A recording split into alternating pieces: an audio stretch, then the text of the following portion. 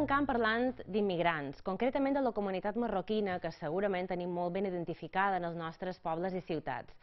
Volem fer la nostra contribució a posar llum sobre alguns aspectes d'aquest col·lectiu.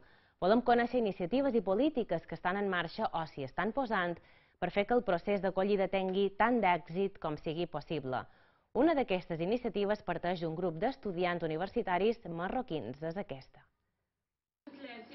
Nalami Abassi, d'origen marroquí i resident a Sa Pobla, és estudiant del darrer curs del grau en Magisteri de la Universitat de les Illes Balears. Conscient de la importància de formar-se, juntament amb un grup d'universitaris marroquins, han creat l'Associació d'Estudiants Marroquins de Balears. L'objectiu principal és acostar-se a les famílies i conscienciar-les de la importància dels estudis. El que venim a fer aquí és donar una xarra sobre la importància de l'educació i lo important que és arribar a acabar una etapa, es poder començar una altra si pot ser, i unificar les dues comunitats, bé, que siguem tots junts.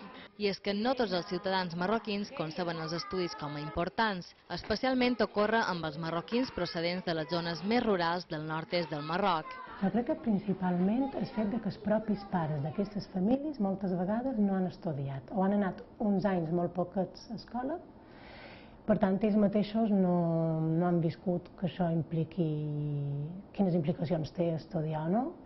Tampoc les poden ajudar a fer deures moltes vegades, ja ho trobam en primari, mmm, quan se fa feina des dels centres perquè les famílies s'apropin, sí que ja hi ha molt de canvi i les famílies cada vegada s'interessen més, han a cercar les notes en com vas fill, però tampoc poden donar una ajuda moltes vegades a aquests infants l'hora d'explicar, de donar deures. L'associació pretén, per una banda, conscienciar els familiars i, per l'altra, motivar els infants a continuar formant-se.